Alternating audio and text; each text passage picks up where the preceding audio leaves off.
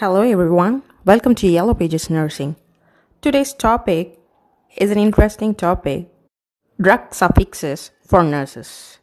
Before entering into the topic, if you have not subscribed our channel, please subscribe our channel. Let's get into the topic.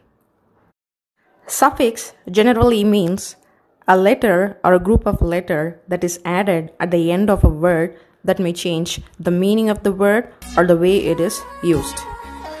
Today's topic is about drug suffixes with the help of which we can identify the group that the drug belongs to.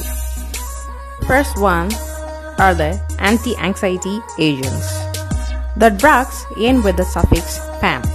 For example, clonazepam, diazepam, flurazepam, lorazepam, etc. Next comes anticoagulants that ends with suffix parin and ACE. Example are heparin, enoxaparin, etc. Next comes the drugs antihistamines that ends with suffix "-ine". Example diphenhydramine and chlorpheniramine. Next comes antihyperlipidemics which ends with suffix statin. Examples are atorvastatin, simvastatin, lovastatin, etc. Next comes antibiotics that may end with suffix cyclin, cillin, mycin.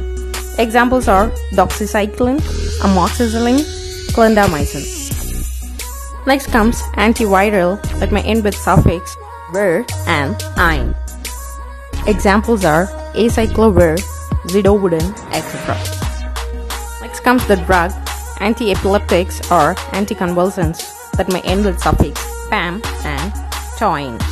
Examples are clonazepam, diazepam, phenytoin, etc. Next comes the drug antidepressants that may end with suffix "-thiolin", "-ine", "-pram". Examples are amitriptyline, sertraline, citalopram, etc. Next comes the group antihypertensives under which comes ACE inhibitors which ends with suffix "-pril". Examples are captopril, enalapril, lisinopril, etc. Next comes the group bronchodilators that ends with suffix "-rol", "-lin". Examples are albuterol, dirfelin, aminophylline, etc. Next comes the drug beta adrenergic blockers, which ends with suffix "-olol". Examples are atenolol, metoprolol, betaxolol, etc. Next comes the drug benzodiazepines with the suffix "-olam" and "-pam". Examples are alprazolam, lorazepam, etc. Next comes corticosteroids with the suffix "-zone".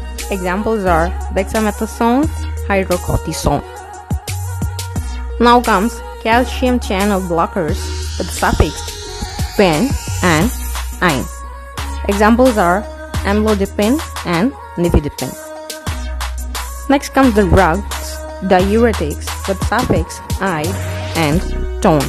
Examples are furosemide, torsemide, spironolactone, etc. Next comes local anesthetics with suffix "-cane". Example lidocaine. Next comes the group antacid or proton pump inhibitors with suffix "-azo". Example pantoprazole, rabeprazole, etc.